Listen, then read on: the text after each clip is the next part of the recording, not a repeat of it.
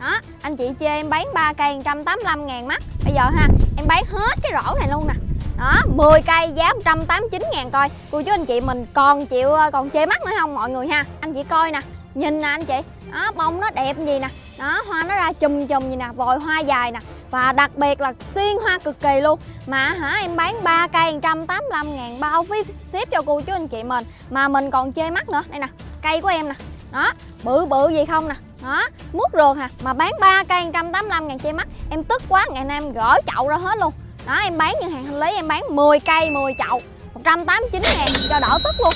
Đó, về cho cô chú anh chị mình chơi thoải mái luôn, khỏi cần sợ cây này hư, khỏi cần sợ cây kia chết luôn. Đó 10 cây gì nè, bán của anh chị mình có 189 ngàn à. về cho mình tha hồ ghép chậu luôn. Đó 10 cây nè, em gỡ sẵn chậu ra rồi, về mình kích rễ lại, mình chăm cây, tầm 2 đến 3 tuần cây ổn định, mình kích bông, mình chơi một cái là mình có nguyên một cái chậu thỏ đỏ mình chơi luôn.